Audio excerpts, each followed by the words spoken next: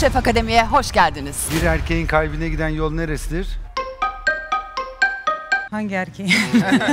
Şimdiye kadar yediğim en iyi brownie'ların bir tanesini yapmış olduk. Fotoğraflık bir tabak olmuş. Sizinle gurur duydum. Aferin. Bugün ben hiçbir ürünü almadım. Hep yardım etmek istedim. Olmaz. 365 gün açık dükkan.